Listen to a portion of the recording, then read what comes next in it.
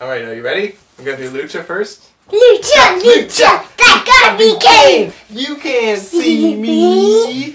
That's Elliot, and you're listening to the Backlash Podcast. That's fuck.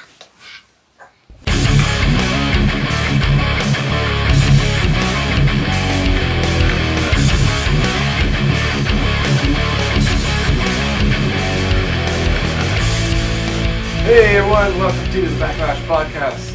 We are on episode 15. 15. Yeah. I was hoping to make it to 10, I'll be honest. but we're still going. We've still got some fresh ideas. We got some great content for this podcast. So um, let's dive in with our Around the Web segment. Um, before we dive in, if you're watching the YouTube, we have a special guest off to the side of the camera. I won't mention his name, but he might come on screen and dance from time to time. We'll go with the flow, okay, guys? Okay, okay. All right. It's around the web, Scott. Um, Lots well, happened. It was a pretty lively week in Yeah. Discord and on TCO. There was lots of new threads, so that's awesome to see. Yeah, I mean, on the let's get into some virtual nine stuff right off the hop. Um, so Creed uh, showed up on the Team Canada online Discord channel to address something. You know, figure while he's there, let's ask him some questions. Uh, so I asked him about, you know, if he had any teasers for us, and he said about the upcoming new set. Um, it'll be weird because we started on it uh, a couple years ago uh, while they were working on the Virtual Revolution 5 and then Virtual 8. Uh, so we have been, so, so we have catching up to do, and we're a bit behind on what's on TV now, the WWE product. Uh, with the new set, since it's all NXT stuff, there'll be a couple superstars that have already left the company. So curious who they'll be. Uh, but they look good and should be fun enough to warrant keeping them. And then, uh, when speaking about the revisions, the annual revisions for this year, uh, it should be out pre-Gen Con. Uh, next week is busy and awesome for me. But after that, I should be able to crunch down on revisions and get them out. Probably by June 1st at the latest. Um, so what is, do you there, is there a thread where we can offer revisions, or is there a... Do not go down there. I guess that's kind of an ongoing thing, right? Like when we did Rocking Chair a few weeks ago, they just like, all right, it's uh, as of today, it's completely revised. Yeah, well, New Day got their backstage area card revised That's within right. like a few weeks. Yeah. I think when it comes to that, where because different play groups play differently, Yeah. um, so the, the the team's been really good about uh, addressing problems immediately, Yeah. and then on like a issuing case the revisions. case basis. Yeah. Uh, so what do you think, Scott, about um, the virtual nine? I guess with it's all NXT. Uh, and some superstars have already left the company. yeah, that'd probably be someone like Austin Aries or Neville, who were top of the cruiserweight division for the time that they were there. Um, I- NXT guys like Shinsuke, Well, maybe Bobby Roode, although he's still pretty new. But Um, I'm think well, released from the company, not released from NXT. yeah, So Emma comes to mind. She was a big player in Yeah. NXT. has a few specifics in the game already, Yeah. I think. Or, and then someone else mentioned, mentioned in the game. Yeah, someone else on TCO had mentioned her by name, and I thought that was a really good idea. Mhm. Uh, I didn't even think of Austin Aries Yeah. until you just mentioned him, and Neville. Like Neville was like, the No. cruiserweight champ. yeah, Retained at WrestleMania. Um, uh, however, he made a post on TCO, which everyone else probably saw. Um, someone had asked him about non-specifics coming in the set, and he was uh, not about you know deck building cards, uh, like non-specific deck building Yeah. cards in the new set. He was not really, to be honest. Making non-superstar specific cards is really difficult with so many superstars to exploit them. Like, uh, you know, oh, we forgot Jamie Noble plus X breaks the game. Or New Day wins in two turns with this. Oh man, back to the drawing board. Um, however, they uh, there's an idea to make Cruiserweight stand out, but that's based around one, maybe two cards. More on that down the road. So I can see that being like the the revolution of the revolutionizing the business. What is that card called? The new female one. Revolutionizing the Division? division. Yeah. Well, I can see that. I mean, they already have Cruiserweight style action Yeah. with so many non And I can see that's how they could bring out non-specific cards, right? Where they kind of like, okay, if only these certain amount of superstars can pack it, it's a little easier to Daddy. control and test with just a handful of Daddy? superstars rather than all 300. Don't play soccer. Not right now. After we're done. But you can play soccer and talk to Eric if you want. I don't think so. That's very complicated. I can see them doing like um like they do extremist and legend. They could do like cruiserweight superstar ability Yeah. for the 205 live guys. Mm-hmm. Live live guys. Yeah. Um, he brings up that we're not going to see Enzo or Enzo and Cass Yeah. for obvious reasons. People. Uh, Back on the non-specifics, like it's cool that Lackey had like 22 people in their tournament, which I'm sure we'll. I'm bringing about that up. Um, but like, that's opportunity for people are getting together and playing cards, right? So I don't know Mhm. how they play test cards, but if it's on Lackey, and if there's so many people growing, and the Lackey community Mhm. seems to be growing on a monthly basis because it's the easiest way to bring everyone together Mhm. that plays the game, right? Rather than driving 12 hours like we're gonna crazily do in a few months. I have, I have more on Lackey in a little bit. yeah, yeah. Um, however, he has confirmed two. He has confirmed two names for the set, which is Finn Balor and Shinsuke Nakamura, which I think they're obvious ones. Yeah, yeah, they're two huge stars in WWE right now. So. Um, so with yeah, so with non-specifics, I mean, I'd like to see some more, just because it, it more variety of deck building. So Yeah. around at least our parts, um, cruiserweight style action decks kind of seem to be the same, like with the high flying Yeah. style. So like that maneuver base is kind of predictable. Um, and there's another one like you know Mean Gene. Like if your face, half the decks are going to be running that. I think yeah, and then just getting everything reversed anyways. yeah, Um, but no, that's really big news. I mean, that should be coming out August, September. hmm It was late last year yeah, because it was in two parts.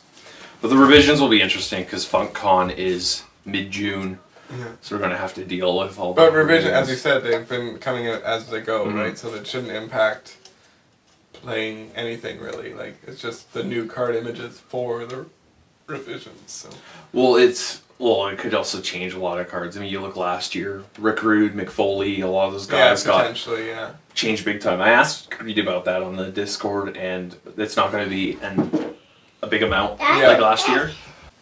Moving on to the Lackey. Um, current tournament going is bad superstars. hmm Uh, I was looking at the list though, and I'm like, man, I've wanted to build a lot of these guys, Yeah, yeah. and then I get the Usos. yeah, Uh, but yeah, it's a um, it's a record tying amount of participants with 22 players. hmm I did the research, and I'm sure I could be wrong yeah. somehow.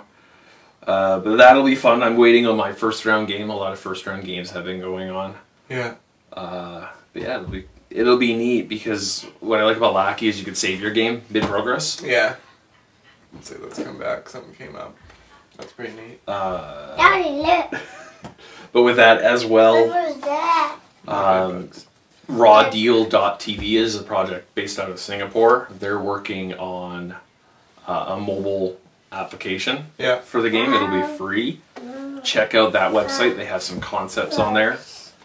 Uh, I'll have more news for the next episode about that, but check that out. There's a lot of images on there and the concepts. There was a team that brought us Al Snow and Xavier Woods Yeah. playing Raw Deal. Uh, that's all I have for really around the web. I mean, there's a lot of news towards the end of the week. yeah, It'll be fun. More superstars. yeah. And we had a new player post on TCO, Jay Riley, Jay Riley, something like that. Um, and you made a comment welcoming him and giving some tips. And then your last sentence was like, "We've been playing for 15 years and we're still learning things." And I think that's kind of like the the theme of the rest of the episode as we talk about Mhm. some of our matches and some card templates. We'll touch on that again. And, But yeah, I- and he was. I mean, let's visit because he's a new. He's a new player. He's not a re- returning player. yeah. Um, so with with that, you know, how do you bring a new player? Let's let's visit that a little bit. Like, how do you bring a new player into the game? Especially a game that's so in in the TCO community, it's so virtual dominant. Yeah. Um, I don't suggest virtual to start with, or the virtual superstars at the very least. On to the next segment, our tournament report. we have to do some cuts because Elliot walks in and starts singing the Pokemon theme song and stuff like that. Which is, you know, stay tuned for our Pokemon podcast. Yeah. Podcast. So tournament report, we had four players show up. and me. Can I hold your blaster? You can hold my blaster. Thank you. So yeah, um, I'll let you talk about that. Um, you played Alberto Del Rio. There was a Heidenreich. There was Roman Reigns and Vicky Guerrero. Yeah. Um, neat. We haven't seen Vicky Guerrero, haven't seen Del Rio, and haven't seen Roman Reigns. So it was three new superstars. And I did Pat play Heidenreich last time? He's played once before. But I think he like interpreted the kidney punch wrong or something along those lines. So he kind of revised his deck, and this was a more um, updated version of Heidenreich. So yeah, but three new superstars was pretty good. And I played Devil's Favorite Demon for a couple games. Um, I want to talk about my Vicky Guerrero game first before we get into the Heidenreich discussion. Um, sh- the deck, Vicky Guerrero, um, whenever your opponent plays an action, you can respond to it by immediately playing an action, and then your opponent has the chance to reverse that. But once all of that resolves, your action is successful. So instead of reversing it, he gets to play a card, kind of like an oversell, but without Uh-huh. ending the turn. Um, poor Vicky Guerrero player, though, not a lot of people are playing actions. Yeah, Um, and that, that's really a meta heavy superstar, I think. Where, Yeah. like, if I was playing Trish Stratus, I think that would have been something completely different as well. yeah, yeah. It's tricky. It's like Jericho and Edge's remakes, right? That are act- based on your opponent playing actions. It's it's tough because it's a pretty aggro um, meta right now, especially with old school wrestling match being a card where you have to overturn six if you don't play a maneuver. So a lot of decks are focusing on playing maneuvers. But a standout on that was the Cena Enforcer. I had no backlash deck by, like, I say the sixth turn Yeah. because um, well, those, like, the Diva maneuvers. Yeah, hard to reverse to begin with. So now he's successfully playing it. Lose your three. Yeah. When I'm playing eleven pre-match cards, yeah. It's all you know, that's or that's really that really caught me off guard. So it had me look at you know off topic a little bit. Had me look into John Cena stuff, Yeah. and he got some pretty decent pre-match cards Yeah. over the sets. Yeah, because they blanked his yo kill the beat, so Mhm. they threw it back and gave him some other tools to work with. But there's one it's never give up where you play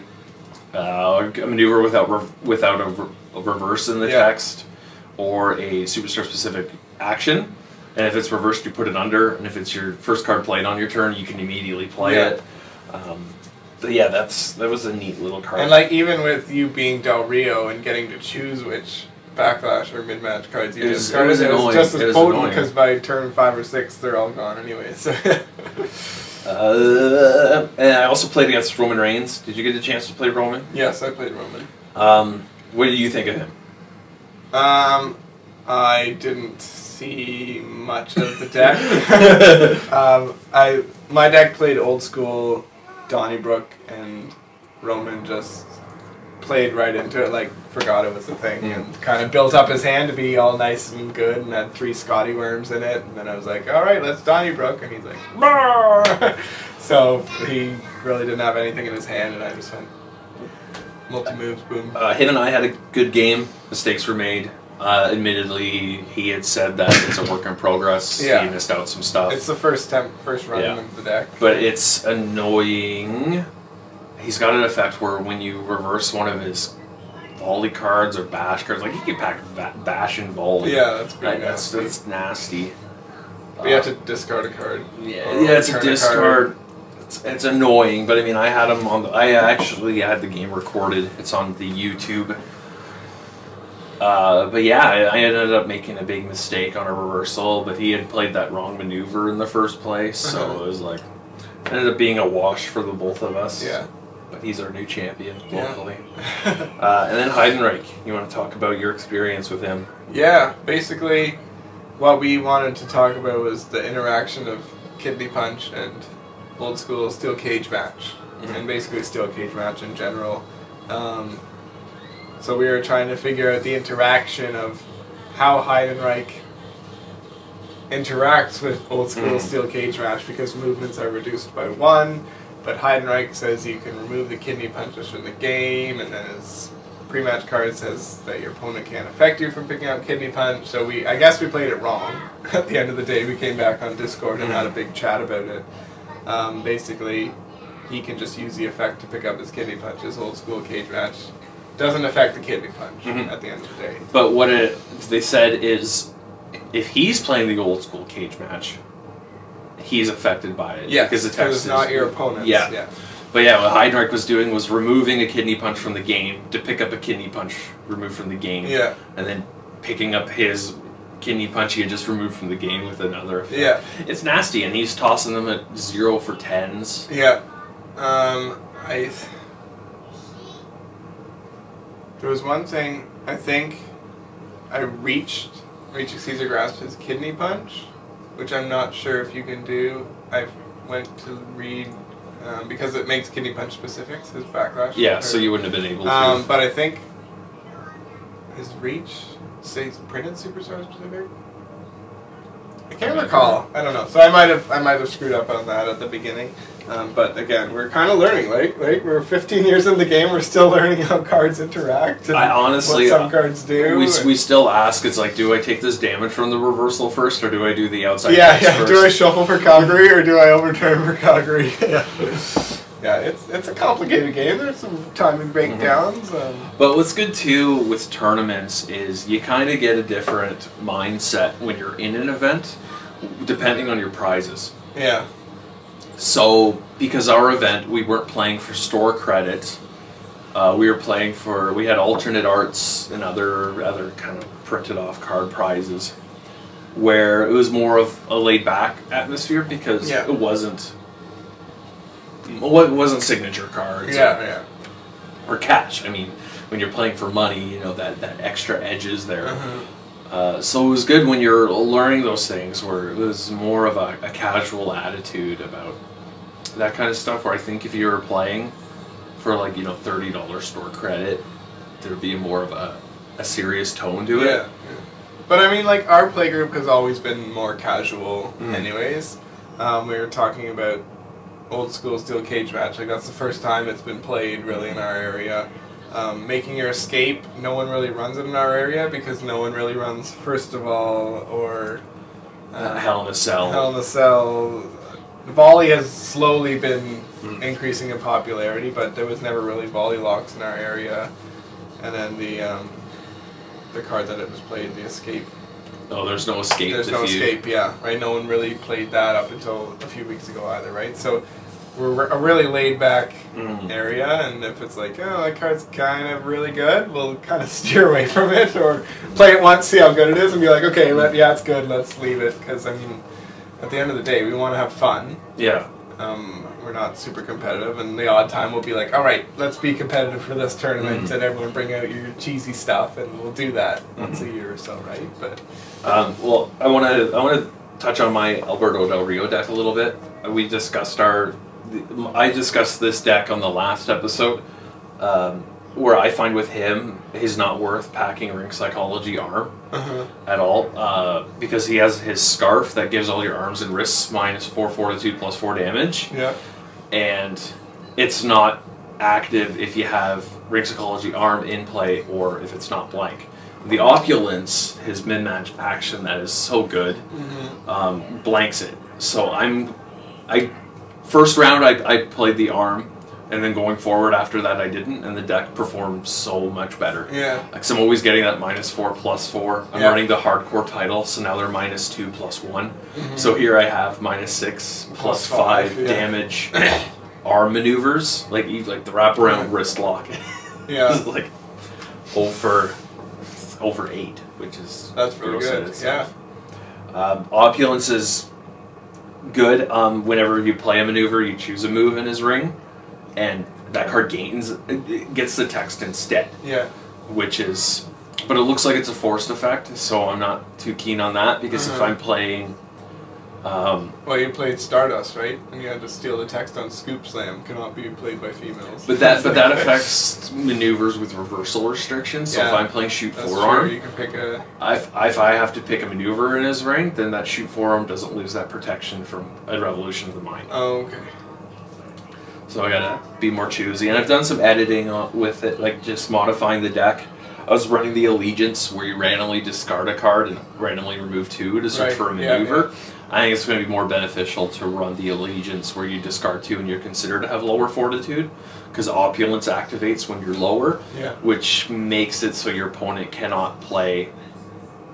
I think non-hybrid reversals to it. So that's another thing that I learned was about that allegiance, always on the winning side, my side. Um, that the cost is just a random removal from ringside, Mhm. not random removal and random discard, and then walking into a don't try, which Yeah. you have to discard. Like that's the biggest reason I've never literally activated Mm. the card in my life because I was like, oh, you have to discard four if they don't try it. I think that's a little pricey. Um, but now that I know it's just a random from ringside and then two of choice if they don't try it, Yeah. it's a little less uh, painful to walk into. And then my big, my big standout for figuring out that ruling is you look at like enter the stratosphere. Yeah. It's that and then you discard a card and then your opponent overturns too. Mhm. So anytime you see that in an activated card effect, that's Yeah. kind of like your break between Yeah. the response. What other random discard cards did you run with him? I know I saw Taunt the Fans. Taunt the fans pretty was cool. so good. Um, I had a sucker punch, the Yeah. heat one in there before, but I took it out. Uh, it's, it's easy to reverse. Mhm. I can't think of any. Like the Allegiance would be a good one where you could discard two by choice. That'd be neat. But it, again, if you find that you the lower fortitude for opulence is better than what was great is my opponents kept activating thrust knee lifts. yeah. Like that was the biggest thing of the game, where it's like put thrust knee lift under, the, and it's like okay, I'll pick. Like that was Yeah, the main reason Yeah. right there. Um, I didn't you uh, remove from the volley trade at all. I was gonna say, do you get to pick for volley trade? I don't believe so. I think it's card effects, Oh, okay. or maybe no, because it's not effects your opponent controls. Um, but it, it didn't factor Yeah, in at all. yeah. And volley this, Yeah. like you, you choose, like you choose Volley what you remove from I volley this, yeah. which is great. Okay. I wish I had more out of the game recursion, because then you can kind of manipulate that stuff a little That's better. something that I, I really struggle with. Is that like, would I rather choose or or be random? And I know like everyone with a brain says choose, but you get that like analysis paralysis where like, okay, I have these choices. Which one do I pick? Which one am I gonna need later for the game? And I don't Mhm. want to make the wrong choice because yeah, I don't need this card now, but I may need it later. Whereas Mhm. if it's random, it's kind of up to chance. And like, I kind of admire Pat's play style locally because he just kind of just removes everything from ringside, and he's like, I don't really care. Like, I'll get it back if I need it, and that kind of stuff. And I was like, man, he's way so aggressive on like removing his ringside from the game, but really, remove from game is just another play area. Yeah. that's accessible, right? It's a little harder to access, but And with with that speed, with, with his speed of playing, it gives you as an opponent less time to figure certain things out. Yeah. So with that aggressive play style, if you're not being like, oh, hold on there, yeah, what's going on? you know, you're gonna you're gonna miss some steps, Mhm. which has happened. But I mean, that's just another way to play the game within yeah, within exactly. the game. It's like bluffing, drawing that card off of the backstage signing appearance, be like, oh Uh, man, this sucks. yeah. You're trying to pretend that you drew a divine, but Yeah. you really drew a revolution of the mind. Uh, do you want to do the the topic of the aha moment? sure. Do you have anything offhand? Sure. I do. Yeah, uh, you, I saw that note in there, and my aha moment, I think. Well, let's let's let's see what the aha moment is. The idea with this is, you know, when you when we, we are, you're playing raw deal, what was that first kind of like, aha, I have it, like you know, what helped you win your first event, or you got that strategy, or you know something just really clicked in Yeah. the game for you, where you kind of from that point going forward, you became a better player. Mm-hmm. So for me, it was basically realizing that your ringside pile is a valuable resource. Um, I've touched on it just earlier in this episode in the past, but cards like um, back body drop where you can pick up setups for free. Um, you can remove can't cheats. How about you head upstairs? You remove can't cheats to pick up cheater cards for free, right? Um, steal chain shots, can't be reading this right, shoot headlocks, cards that have effects that you can pick them up. Um, and just using ringside as an extra resource is just phenomenal. Steel Cage came along and said, Yeah, kick, kick kicks him that the whole idea, yeah. kicks the whole idea down. Um, but it there are still cards that can do stuff with ring, right? Even though that's there, there's still ready to fights where you can ace it to pick up a move and things like that, which is something I realized as a player that when I shuffle for ready to fights, I almost always shuffle in a move, and then I was like, oh, I could have just I aced it to still- pick I up the still move. do that. I was so awful at that. Um, but yeah, I was like kind of just play testing last night. I was like, ah, I did it again, like shuffling three moves, and I was like, now I want to ace it to pick up a move, but I can't. Look. That's an awesome blaster. But yeah, my aha resource was Also, Aha, blaster. ringside as a resource. For me, I think it came with the backlash deck, Miss being very Dagger, deliberate your with your blaster. pre-match. Your You know, how can you use that to manipulate things? Yeah. Uh, and then but be more observant of what the opponent's doing. Um, so like bitter rivals, it came later than when we started, but that became I didn't do it very often, but it's a very good tool. I'm actually playing around with that idea. Mhm. With that, ba- for just certain effects that I don't want to reveal right now. Yeah. But it's like, okay, when do I want to play this? Because it stops your opponent from playing belts. Yeah, it's really And good. then Or, but the big thing is swapping it so you play your pre-match cards first. Yeah.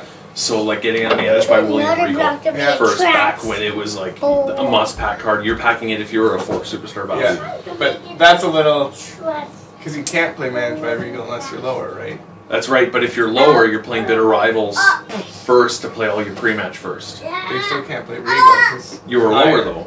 But but I mean, if your opponent's I see what you're saying. I'm looking at like managed by Vince, right? Like if you're lower and you want to play first, then you can Yeah. steal that managed by Vince, right? but say say I'm a four value, my opponent's a six value. Yeah. You know, I guess you can't play it. Right? That's You know what? I'm saying. that- But managed by Vince is a perfect example. Managed by right? Vince. Like you can steal that manager. Yeah. is is just be more deliberate with that early steps of the game. Yeah. Um, and then even just arsenal construction, like you've said before, like your your cards, every card has a purpose. Yeah. Most cards Or have two Yeah. purposes. exactly. Yeah. and it became more more for that reason there. It's, we, we joked about how no one's played Don't Be uh, a D-bag as an action, Action, and then after that, it was played twice Yeah, in the same yeah. event as an action. Yeah. So that was that was for me. I mean, my first event I won with Hard Being This Original Goldberg. That's interesting. My first one was Heart being original Undertaker. It's a good And now we're like, oh, the Heart being original sucks. And you got called out on that. And now it's the card of the show. You know what? I don't want. Yeah, I- I'll, I'll address that that call out in a bit. Um, I forget where I was going with that. But yeah, so with your aha or your big breakout moment uh, on the YouTube, or I'm gonna have a comment sticky for everyone to reply to, Okay. or even just on the podcast post wherever you see it. Just toss in your idea there. Yeah. I like to hear from the community. Speaking of a not very good card, it's hard being this That's a original. Transformer Blaster. Uh, we're gonna do our our cards on the show. A trans- Daddy. We'll be back for the cards of the show. Uh, speaking of hard being original not being very good, at least in virtual, I find. Um, we're gonna do our cards of the show, where you compare two cards with similar effects and kind of make them clash and give our our opinions on Yeah. it. Uh, so this week we're going to visit It's Hard Being This Original and You Will Witness History. Both are classic cards, both are pretty much cards, and both let you search for cards, Yeah. but in turn they restrict what you can play. Mm-hmm. Um, so I'll just read them off. It's Hard Being This Original, Can't Be Packed by Rikishi, Right to Censor, Brothers of Destruction, or Dude Love. It's an active SmackDown permanent pre-match card. At the end of the pre-match phase, you search your arsenal for two different non-unique cards, put them into your hand, and shuffle your arsenal. You cannot play any cards with the same title as a card in your ring. And you will witness history. It's an active permanent pre-match event. The end of the pre-match phase, search your arsenal for two different non-unique cards that are chain, heat, or volley maneuvers. Reveal them to your opponent, put them into your hand, and shuffle your arsenal. You can only play you can only play maneuvers that are superstar specific, chain, heat, or volley maneuvers. You cannot play a maneuver with the same title as a maneuver in your ring area. So Scott, back in classic, hard being this original, was almost a must pack card in a lot of There were yeah, there were certain decks that could really abuse it. Obviously, the four that are listed that can't pack it could really abuse it. But people like Rene Dupree, where you can only pack one of any Mhm. card anyways. Goldberg, build up the hand. Really, anyone that um, went with that build your hand up with Premier SmackDown and some SmackDown pre-match Mhm. cards. Um, could work around it, like even a Brock Lesnar when you have like an 18 card hand size.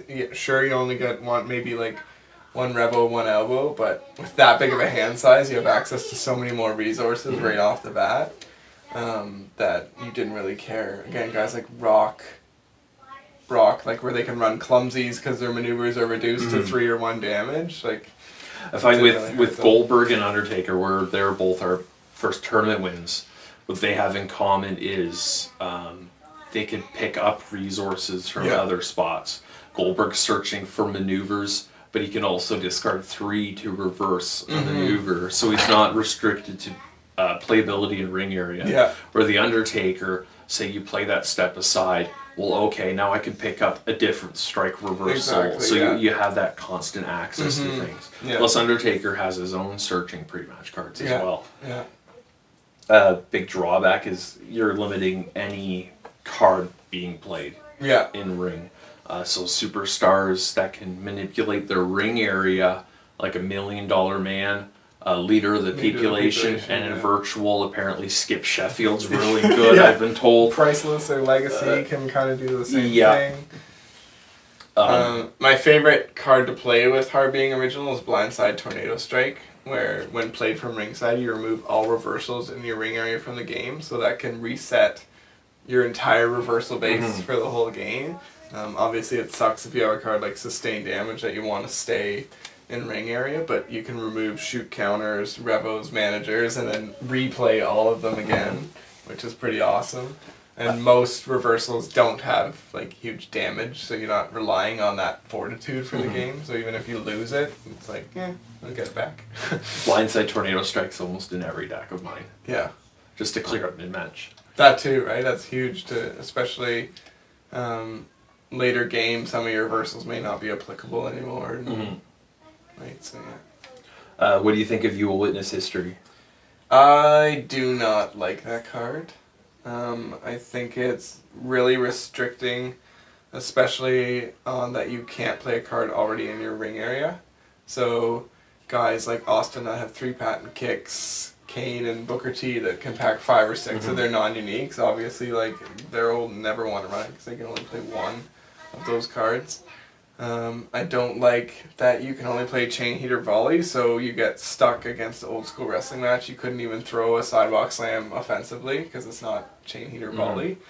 Um, so I think that's a big drawback. I've never really looked at the card in virtual with volley. So I've always ran it kind of in a chain deck in classic, mm, the odd time in a heat deck in classic. Um, and I think one of the first virtual decks I built was Muhammad Hassan, and I ran it in him to give it a, a whirl. But I never really tried it with volley, so I'm interesting. I'm interested in how that may work out. But again, like restricting only one kind, like you only get one cold cocked or one punch after punch, like it's so restricting. I, and with this card as well, um, there's that the feud all together now. Mhm. Where this, I've played it that with it, yeah, where you're only playing chain heat, volley, pre-match, and mid-match cards. So this is one of them, but they're all playing for free, so you Yeah. can manipulate a little more. Uh, this card also doesn't limit your reversals you're playing, yeah, so you can play spine busters, power slams Mhm. defensively, yeah, building up that fortitude and doing that damage. As well, they're in virtual. There's some superstars that make maneuvers certain types when you're packing them. that's true. I So like Blue. Blazer, um, the Hart Foundation. I think I can't remember who else. I know Roman Reigns Like makes. Natalya makes cards chain, I think. Yeah, Or but British Bulldog makes cards chain or something like that. but like abilities like that, where Yeah. like, if you're packing this, you know, if you're packing Bash, it's illegal. yeah. Well, okay, now that I'm packing this, I have a new set of maneuvers Mhm, available to me. mhm. That's pretty specific when you're Yeah, wanting yeah. to do that. Uh, like Hart Foundation makes your, I think, maneuvers without reverse and your tag team maneuvers uh, chain. Mhm. So it's like, okay, now I can search for all these. They reduce costs on their maneuvers, so you're opening up a whole new can of worms. Yeah. The one thing that I did like about her being original, I recently did pack it in a Nikki Bella deck that I had, the throwback Fearless Nikki.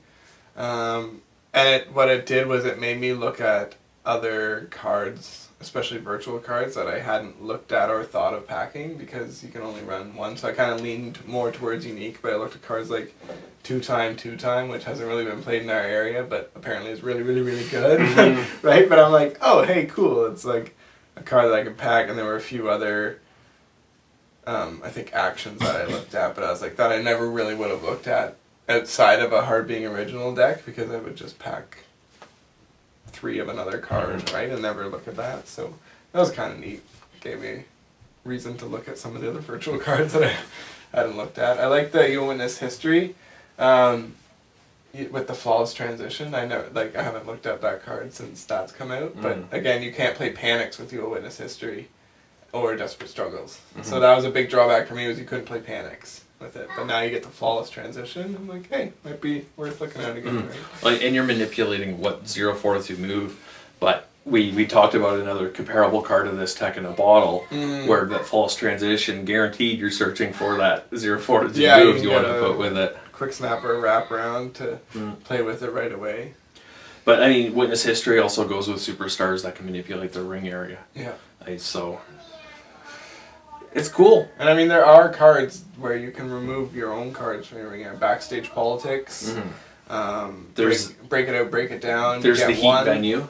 Yeah. uh, that when it's in your it's an 0 for 2 when it's in your ring area your opponent can activate it to put it in his ring area by removing a card from ring Yeah. so I've got to look at that card again.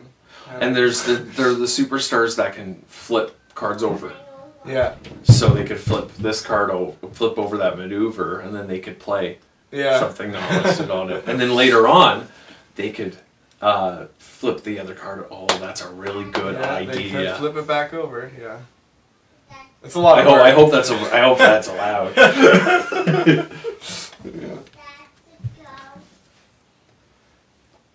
it's a good card Yeah. Yeah. I like them. I, I haven't played either since uh, virtual. I mean, we I- we, yeah. we talked about hard being, and then you were like, "Why bother? There's so many cards that let you search for cards. Why Yeah. would you want to limit yourself?" Exactly right. Like tech in a bottle. If you just want a zero four to maneuver, tech in a bottle I think does it way better.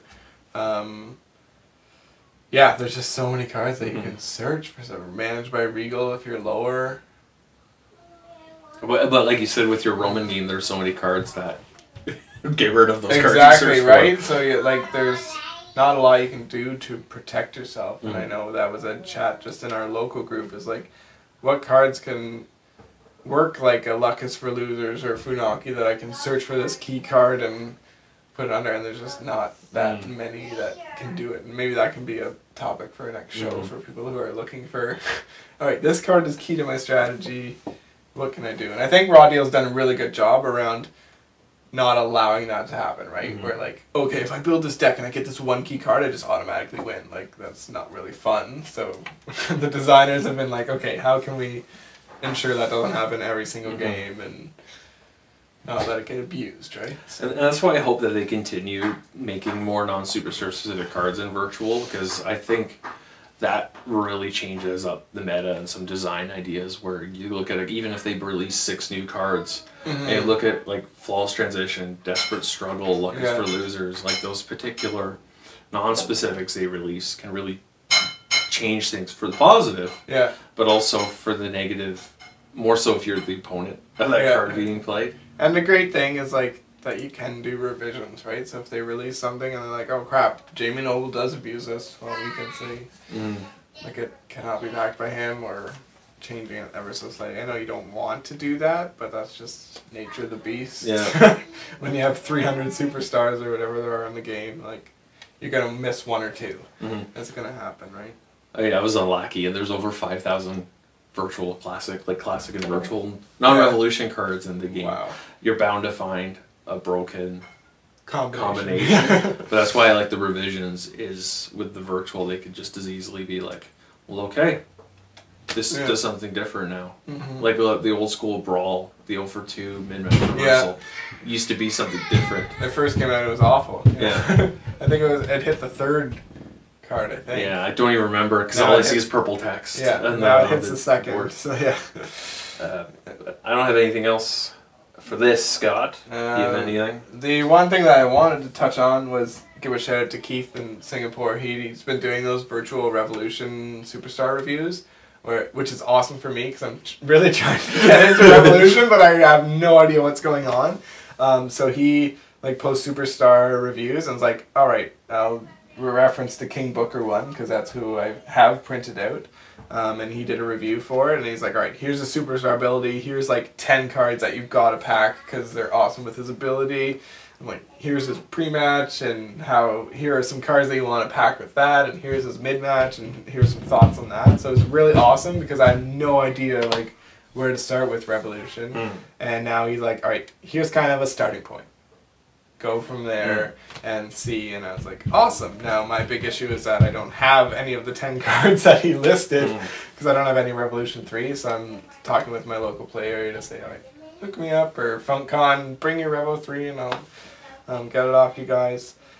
But I'm excited about that. Just again, because it's a quicker, faster paced game with kids running in and out of the video. I can play a game in 20 Mhm. minutes rather than an hour long game. And I, f- I read recently that there's a group out in Montreal, I believe it is, and all they play is Revolution. Oh yeah, So shout out to them, bonjour, yeah. if they're listening. Uh, but where can you find these virtual superstar reviews online? Because they're not on Team Canada Online. I think they're on the Singapore Facebook group. That are on the LSG. LSG. Yeah, and he posts about one week, one every two weeks, um, and it's a great Revolution primer. Like here's superstar strategy cards, and he does it. Where you know, like TCO, it's like, all right, here's some questions, and here's the card text, and then you essentially got to rely on other people to give input. Where Mhm. he's like, I'm gonna take this bull by the horns, and like I'm gonna post it, and I'm gonna give my input Mm. right to start. So there is something to like, kind of talk about or build on or use as a resource. So I like that a lot. Thanks, Keith. And on that, let's say our farewell. Do you know how they say goodbye in Singapore? No. Goodbye.